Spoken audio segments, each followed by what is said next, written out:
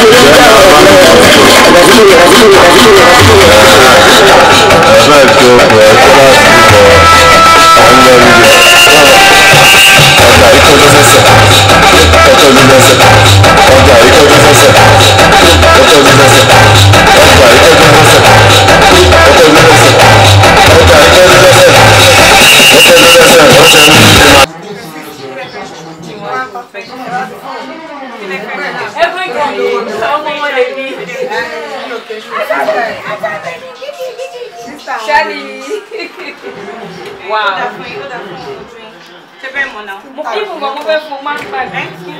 ẹgbẹ́ bá wọ́n ó ní nǹkan máa fẹ́ a máa ń sáré. àtàbẹ̀ ni more blessing thank you so much amen.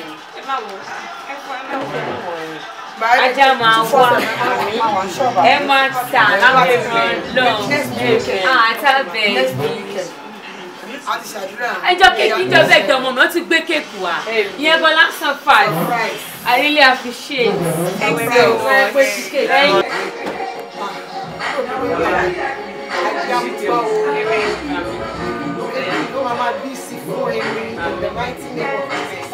tó bá wá gbòòrò ò ní ọ̀sán gbọ̀ngàn ò ní wọ̀ ní wẹ̀ ò ní sí pé àwọn ọmọ ti ṣe wọ́n là ọmọ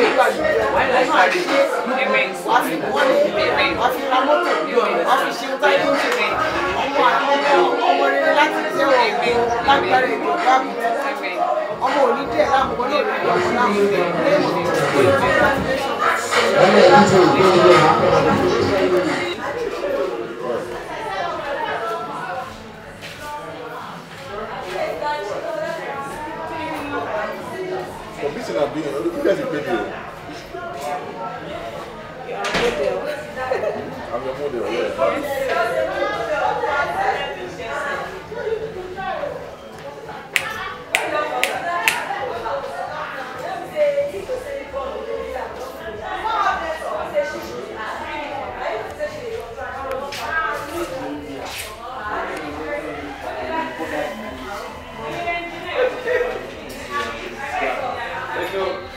ìwọ ní sùúrù mo ní ìṣe mi yìí ṣe